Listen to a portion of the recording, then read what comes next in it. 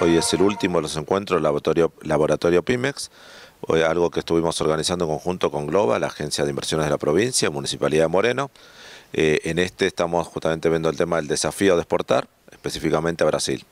Eh, tuvimos durante el año, empezamos por allá por febrero, fueron cinco encuentros y hemos sumado muchas empresas, un trabajo en conjunto que quiero destacar, tanto con provincia, con Moreno, que hoy rinde sus frutos, participando esta importante cantidad de empresas locales en este importante seminario.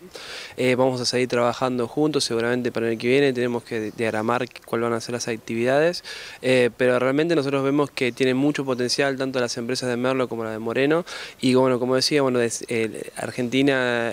necesita salir a exportar y nosotros podemos aportar desde, desde la provincia, de los municipios, y lo importante es que las empresas se acerquen siempre se puede vender, siempre se pueden abrir nuevos mercados y siempre se puede mejorar en alguna medida o eh, evitar el mayor daño posible a nuestros productores locales que son claves para que cambiemos esa lógica de ciudades de dormitorio y empecemos a generar lugares de trabajo en nuestros propios distritos para nuestros vecinos.